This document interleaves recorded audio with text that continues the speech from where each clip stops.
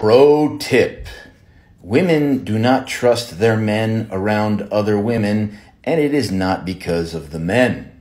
Surprisingly, early on in life, most men are true blue as the day is long. It is not you they are worried about, sir. They are worried about the other spiteful bitches in the room. You see, women understand women, and they hate each other and will do anything to ruin each other's lives many times. Men realize this later in life, usually around their 30s when they've reached a certain level of swagger, status, and success, and high quality ass becomes effortless. This is about the same time in life we learn the true nature of women. Evil.